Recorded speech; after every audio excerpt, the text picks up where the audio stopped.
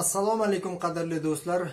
Joriy yilning 30 iyul sanasidan 10 avgust kuniga qadar o'zbekiston milliy jamoasi toshkentda navbatdagi yig'inda ishtirok etadi. Mazkur yig'inda vadim abramov asosan ichki chempionatda to'p surayotgan futbolchilarni yig'ishga qaror qildi.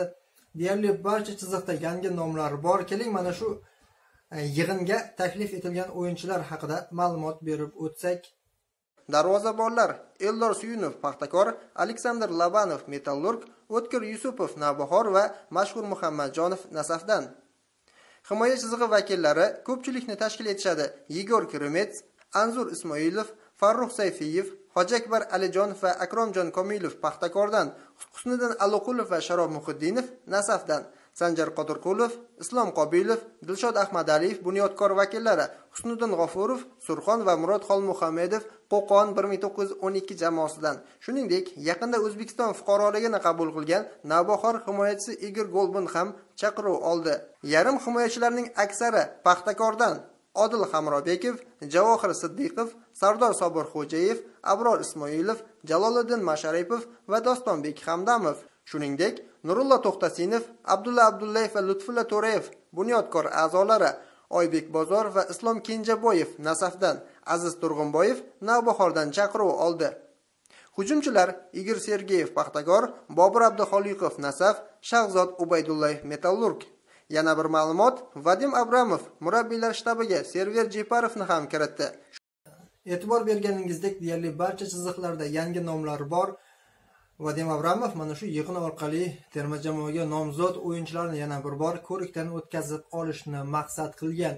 Oldinda o'zbekiston milliy jamoasini qanday uchrashuvlar kutib turibdi keling? Bu borada ham ma'lumot berib o'tsak sentyabr oyi avvalida ya'ni uchinchi sentyabr kuni o'zbekiston milliy jamoasi qo'shnimiz tojikiston milliy jamoasiga qarshi o'rtoqlik uchrashuvida maydonga tushadi. Keyinchalik yettinchi sentyabr sanasida toshkentda eron milliy jamoasi mehmon bo'ladi. Mana shu ikki uchrashuv ikki o'rtoqlik bahsi rasmiy o'yinlardan oldingi so'nggi tayyorgarlik vazifasini o'tab beradi. Keyinchalik oktyabr va noyabr oyida jahon chempionati 2022 va osiyo kubogi 2023 qo'shma saralashidan o'rin olgan qoldirilgan uchrashuvlar bo'lib o'tadi.